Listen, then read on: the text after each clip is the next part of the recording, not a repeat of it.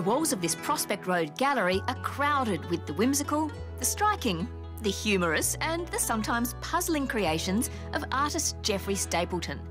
So far, it's what you'd hope for in a modern gallery. It's what's outside on the busy suburban footpath that's unexpected. Taking it to the streets and painting en plein air is just the boost Geoffrey says he needed. After a couple of years shut away in his studio, he'd noticed his work becoming devoid of human figures. But then, as soon as I got out on the street, which has been about a year now, um, just the interaction with people has just been fantastic. And, and, and people have started popping up in my paintings again, you know? Now, as he's painting in such a public space, you'd imagine that Geoffrey gets quite a bit of um, assistance from passers-by, and he does. But he says, far from being annoying, it's actually very constructive.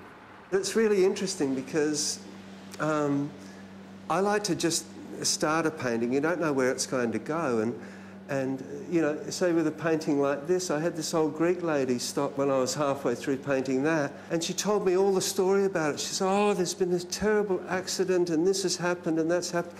And she actually gave me a, a, few clues of where I could take the picture. You know, that would never have happened if I was in my own little studio. For Geoffrey, art's been coupled with music for decades. In fact, he was a musician before he started painting. A drummer, keyboard player, writer and producer, even a bit of the old glockenspiel. And if you were anywhere near a radio in the mid-80s, then you'll know about his band GANGgajang.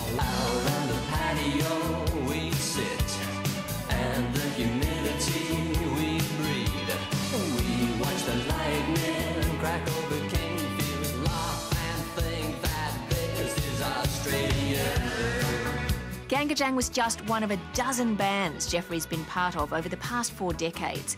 But it's been the most successful, enduring to this day, and taking him all sorts of places. Strangely enough, they're big in Brazil, and trips there have been a huge influence in Geoffrey's work.